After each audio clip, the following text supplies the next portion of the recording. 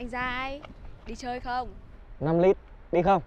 Không 7 lít Đi thì đi Không đi thì thôi. Này! Lại đây Tôi bảo. Cô thì sao? Giá bao nhiêu? Anh thử ngắm xem. Tôi thì ờ, được giá bao nhiêu? Tôi nói thật nhá tôi còn có 5 lít thôi. Cô có đi không? Mà cô phải bao phòng đấy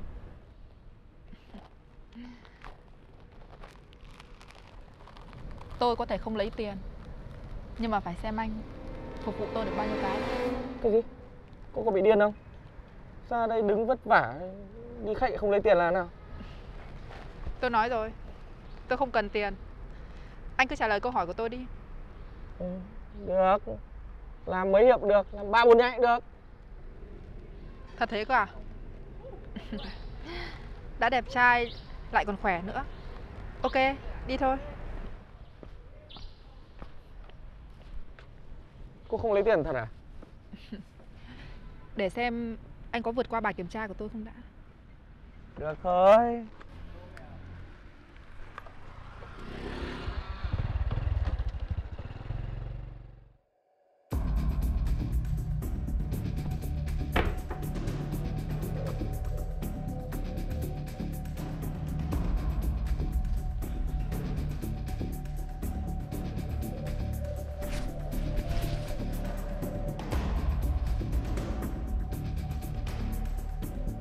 khoan đã. Từ từ đã. Sao thế? Cô cô có bị bệnh không đấy? Điên à? Bệnh cái gì mà bệnh? Thì tôi vẫn băn khoăn cái chuyện mấy cô kia mặc cả cả buổi không bớt cho một đồng nào. Đây cô lại cho không tôi tiền. Thế là lạ. Anh có muốn biết tôi cần điều gì không? Cô cần gì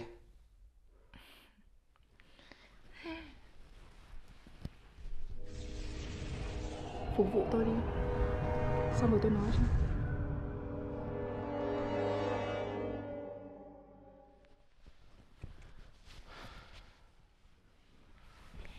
Cũng khỏe đấy. Nhưng mà hơi chán. Sao chán?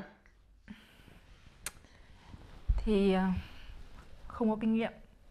Xong rồi hay làm người ta mất hứng nữa. Cũng đúng. Cũng vì lý do này mà tôi chia tay bạn gái Thế thì anh phải chăm chỉ qua tôi. Tôi sẽ dạy anh Và đào tạo anh thành một tay chơi chính hiệu. Tôi không hiểu. Cô có bị điên hay không nữa? Tôi không cần tiền của khách. Cái tôi cần ấy Là cảm xúc thăng hoa thật sự trong quan hệ. Nhưng mà hàng ngày cô tiếp rất nhiều khách. Chẳng nhẽ đã không tìm được người nào phù hợp à? Đàn ông các anh Chỉ xem chúng tôi như là một cái bình chứa thôi. Làm xong rồi thì xách đít bỏ đi. Làm gì có ai có tình cảm đâu. Vậy để tôi làm cô lần nữa xem có tình cảm không nhá.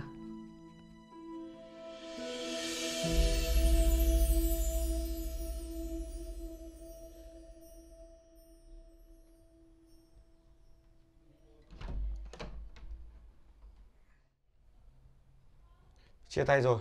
Cô còn đến đây làm gì Đòi tiền tinh phí. Tinh phí? Hai năm qua tôi sống với anh. Nào là tiền ăn, tiền uống, tiền chăm sóc, tiền xe cộ.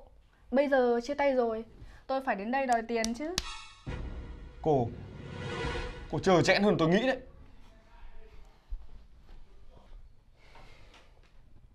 Theo như tôi thấy Tôi không chơi chẽn gì cả. Bây giờ sao? Anh có giả tiền cho tôi không rồi cô muốn bao nhiêu? 250 triệu. Cái gì? 250 triệu à? Ừ. đầu óc cô có vấn đề à? Hay là cô muốn ăn cướp? Sao mà ăn cướp? Tôi còn đang tính rẻ cho anh rồi đấy. Anh nghĩ đi. Tôi quen anh gần 2 năm. Tính ra là cũng được 370 ngày. Là gần được 100 tuần. Mỗi tuần anh ăn ngủ với tôi 4 lần. Tôi chỉ lấy rẻ anh mỗi lần 500 thôi. Tổng cộng là gần 200 triệu Còn 50 triệu kia Là tiền ăn, tiền uống Tiền son, tiền phấn Và tiền mất thời gian với anh Như thế là quá rẻ rồi Có đúng không? cô vừa phải thôi đừng làm tôi điên lên Sao? Anh đánh tôi à? Mày cút ra khỏi nhà tao Cút Tôi cho anh 5 ngày 5 ngày sau mà không có tiền trả tôi Lúc đấy tôi cho ra ngồi xử anh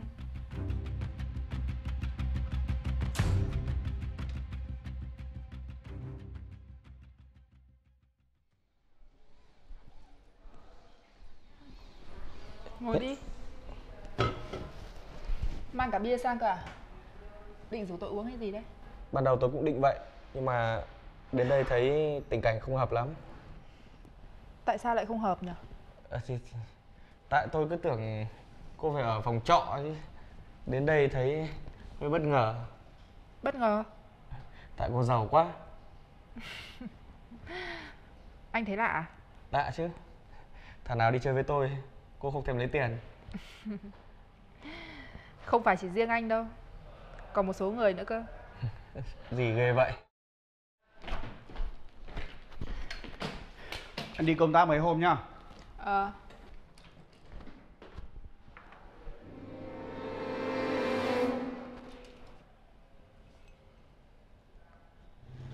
Ai vậy? Chồng tôi. Ơ Cái gì ạ Trời ơi cô định giết tôi à Anh không cần phải sợ. Thực ra chỉ là trên danh nghĩa vợ chồng thôi. Sống để cho thiên hạ biết mặt Chứ chẳng ai quan tâm đến ai cả. Bảo sao cô cần nhiều cảm xúc như vậy? Thôi Nói chuyện của tôi làm gì? Nói chuyện của anh đi. Chuyện tình cảm của anh thế nào? Có giống tôi không? Chán lắm. Con người yêu cũ của tôi đang đòi 250 triệu Tiền tình phí.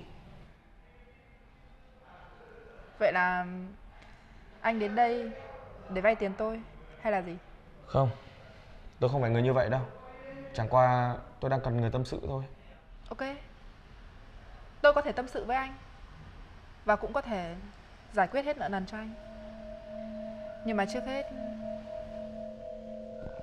Anh phải cùng tôi học bài đã. Học ở đây á? Ừ. Hay là vào trong phòng đi? Ở đây tôi không quen Trái lại ấy, Thì tôi lại rất hứng thú với nơi này. Anh mà muốn quan hệ với tôi lâu dài ấy, Thì anh phải làm quen dần đi.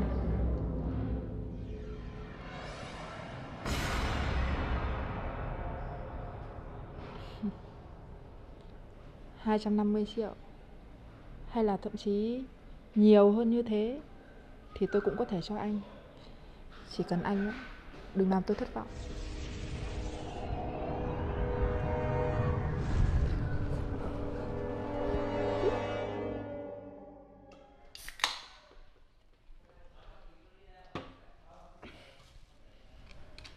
Cầm đi. Đem về đưa cho cô bạn gái của anh nhé. Cô cất đi. Tôi đến đây không phải vì cái này. Thật.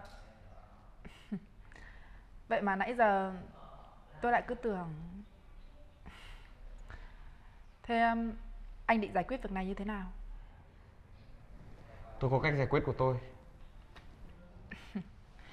Đó là cách nói chuyện của những người đàn ông ngu xuẩn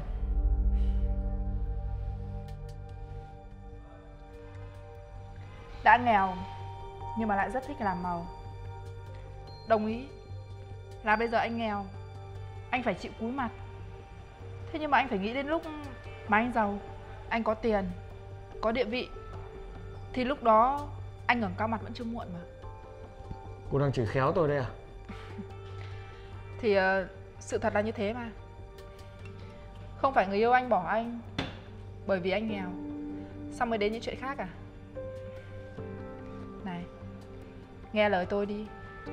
Thử làm người giàu một hôm. Để xem lúc đó Cô ta thay đổi như thế nào. Nói thật nhé, Lúc đó Anh bảo cô ta liếm giày cho anh. Cô ta cũng làm đấy. Vậy cô nói xem, Tôi phải làm thế nào?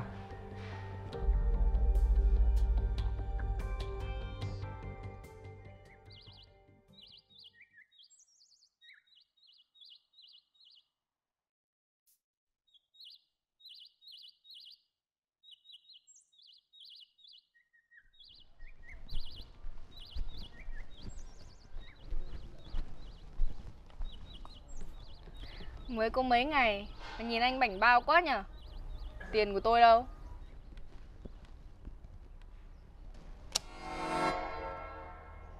Trong này có 300 triệu Cô cầm hết đi. Anh... Anh làm cái gì mà nhanh giàu quá vậy? Anh có làm gì đâu em. Chẳng qua thời gian yêu em Anh giả nghèo để thử lòng em đấy. Em thấy ngu chưa? Hối hận chưa Anh nói cái gì vậy? Thật ra tất cả những lời em nói khó nghe với anh từ trước đến giờ Cũng là chỉ vì muốn anh giàu Vì muốn anh phấn đấu hơn thôi. Em đâu có cần tiền đâu. Thảo Mai ít thôi. Cầm tiền rồi biến đi. Anh Nam Anh yêu em nhiều lắm đúng không? Anh chết mê chết mệt em còn gì? Anh ơi, anh xong chưa? Xong rồi, đợi anh chút Người yêu mới của tôi đấy. Sao? Sao? Quay vào ôm mất lượt rồi đúng không? Anh Nam Anh đừng bỏ em mà. Cô buông ra. Mẹ kiếp Yêu nó 2 năm Mà không biết nó là đại gia ngầm. Mình ngu thế không biết. Cảm ơn cô nhé. Nhất định tôi sẽ trả tiền cho cô. Tôi là một người có rất nhiều tiền. Tiền của tôi có lẽ tiêu cả đời không hết được. Với số tiền còn con ấy, tôi không để ý làm cái gì cả. Cho nên anh có trả lại hay không, tôi cũng không quan tâm cho lắm. Đúng là người giàu các cô Luôn có cách tiêu tiền thật khó hiểu Con người ta luôn tìm mọi cách để kiếm tiền. Và khi kiếm được tiền rồi, có những người người ta tiêu tiền vào việc có ích và cũng có những người thì lại tiêu tiền vào việc vô ích. Và cho dù là có ích hay là vô ích đi chăng nữa, thì họ cũng dùng tiền của mình để mua niềm vui cho riêng họ. Cũng giống như tôi, đang bỏ tiền ra để tìm đối tượng chia sẻ cảm xúc